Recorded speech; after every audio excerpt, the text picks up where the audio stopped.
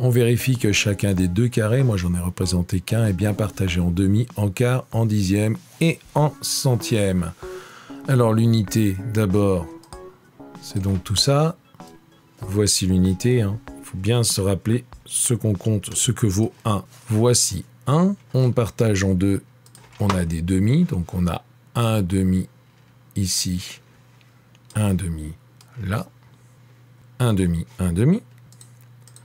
Si je partage en 4, j'ai des quarts, un quart, un autre quart, un troisième quart et un quatrième quart. 4 quarts, c'est l'unité. 1, 2, 3, 4 quarts.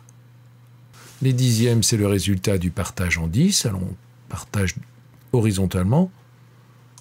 On pourrait partager verticalement. Hein. Donc 1 dixième, 2 dixièmes, 3 dixièmes, 4, 5, 6, 7, 8, 9, 10. Voici les dixièmes. Et les centièmes qui correspondent à des parts d'unités partagées en 100, c'est-à-dire 100. Alors je ne vais pas m'amuser à les compter. tu vois, il y en a 1, 2, 3, 4, 5, 6, 7, 8, 9, 10. 20,